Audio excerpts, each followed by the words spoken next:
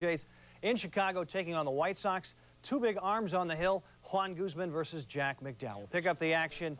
Top of four scoreless, two men on. Ed Sprague at the plate. McDowell delivers. Sprague lifts drive to right field. Ellis Burks on the run and can't make the catch. Two runs score. Sprague gets a triple. 2 0 Jays. Bottom of four, Gene Lamont's club comes right back. Guzman delivers. Ozzie Guillen reaches out, lashes a single to right. Two runs score. We're not at a two. Guillen installs second, sets up the next batter, Tim Raines.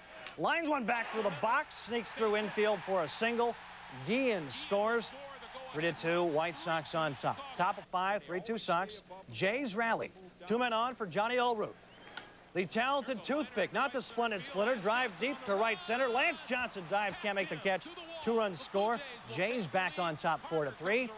And Jack McDowell tries to stop the bleeding but he can't. The next batter, Paul Molitor, goes the other way, drops in for a single. Olerud scores 5-3 Toronto, bottom of seven, one man on.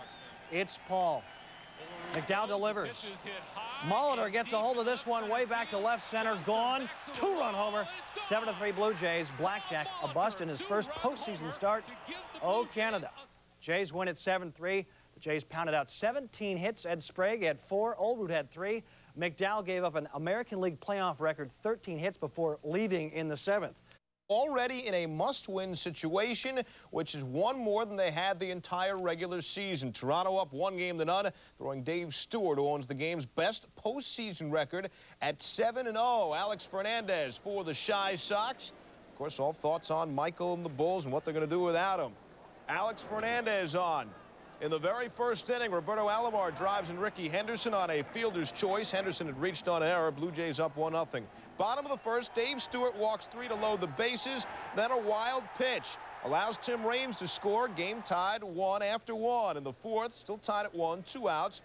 Paul Molitor lines one to the right field corner bounces into the stands, goes for a ground rule double. Molitor's sixth consecutive hit. That's an ALCS record. Next batter, Tony Fernandez. Base hit to left. Tim Raines coming on, charging. Here's the throw. Nearly out of the entire stadium. Molitor is safe 2-1 Jays. Jays a 3-1 lead in the sixth. Nobody out. The base is loaded for Chicago. Dan Pasqua at the plate.